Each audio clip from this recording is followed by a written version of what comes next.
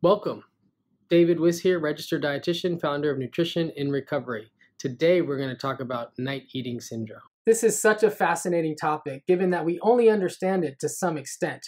There's a lot that goes into this complicated symptom picture, and today we're going to touch on some of the highlights.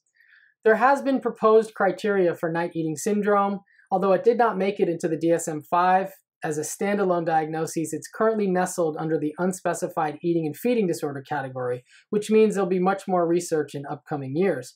Experts agree that it involves morning anorexia, evening hyperphagia, that's excess consumption of food either at night or in the middle of the night, as well as insomnia. Some people report eating to go back to sleep, and other people are reporting eating while asleep and not even knowing it, perhaps sleepwalking and finding out in the morning because there was wrappers or even full-blown pots and pans in the kitchen.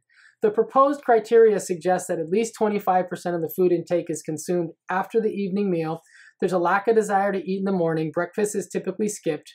There's a presence of a belief that one must eat in order to initiate or to return to sleep and that these authors suggest that the disorder is not secondary to substance abuse, medical disorders, including psychiatric diagnoses and the use of medications. However, the core clinical features of night eating syndrome include the comorbid conditions such as eating disorders, obesity, depression, insomnia, substance abuse, and anxiety, which makes it tricky sometimes to tease out the primary, secondary diagnoses. There has been assessment tools that have evolved over the last 20 or so years, and the most recent version is from 2008. It's called the Night Eating Questionnaire. It's a 14 item version that hopefully you can find online. Uh, night eating's been studied in a wide range of different populations, and one easy population to study is college students because most research happens at a university. In this one sample of 413 undergrads, they showed that full criteria for night eating syndrome was only met in 1%. So it's relatively rare uh, in quote unquote normal populations. However, in a psychiatric population, we see prevalences being much higher. In this study, it was just above 12%.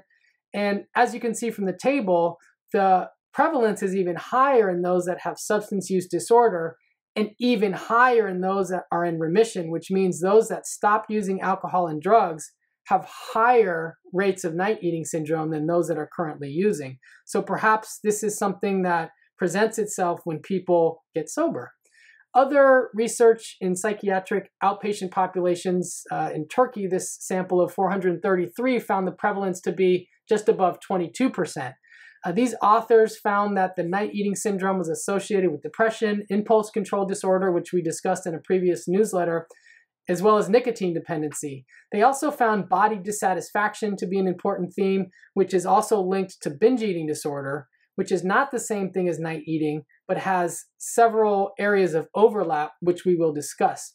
One interesting part of this study was that the authors showed that there was no difference with regard to the medication being used. However, I'm curious if this would hold true in the United States, where we have much more and different medications being used, particularly for those with substance use disorder. Recently, a review suggested that body temperature dysregulation might be linked into this complicated picture, including sleep disturbance and night eating, etc. There's also some interesting information coming out about circadian rhythms, and there's a lot more work that needs to be done in order to fully understand the spectrum of night eating that exists. Uh, recent reviews suggested that night eating syndrome can be exacerbated during times of major life stress and uncertainty. It's also important to acknowledge that most patients don't bring up these issues because of their own guilt and shame, and that night eating syndrome does respond well to cognitive behavioral therapy. As you can see from the table, binge eating disorder and night eating syndrome have some areas of overlap, but they also have some significant and distinct characteristics by themselves. The overlap includes feeling a loss of control over the episode. So we see this with binge eating, night eating, as well as with substance use disorder. And again, both are associated with increased comorbidity of mood and anxiety symptoms. So it's a tricky thing to treat. It's a tricky thing to address clinically. I certainly had some, some success in my practice. Uh, in order to get into recovery, there's some basics, and everyone's going to respond differently to different things, but a lot of people uh, have dieting behaviors which definitely need to stop in order for the night eating to stop. So this is where some of the CBT skills can come in to help someone cognitively restructure the way they think about food, the way they space their food throughout the day. So I use the mantra never hungry, never full to get people to eat regularly throughout the day, sometimes four or five or six times with a balanced intake from all the different macronutrients that's carbohydrates, protein, and fat. There's no perfect formula um, about the percentage breakdown that I believe in. However, I do think that there should be carbohydrates, protein, and fat at every single meal and every single snack. Food journals can be very helpful. Um, Self monitoring and getting support from loved ones. That could be emotional support or actual instrumental or operational support. Um, that has been shown to be useful. Certainly, we need to educate our patients about sleep and circadian rhythms, discuss alcohol, caffeine is something that can definitely play a role. Uh, drinking too much water before sleep, sometimes people will wake up and then find that now that they're awake, they end up in the kitchen, and other nighttime rituals that could either be uh, detrimental or beneficial. So, we need to also discuss relaxation strategies with our patients, including meditation, including regular movement. Uh, I'm a big believer in yoga, and I found that to be helpful. Getting people's nervous system to come down and to um, operate more effectively is going to benefit all people and certainly can be helpful at night for those that want recovery from night eating syndrome.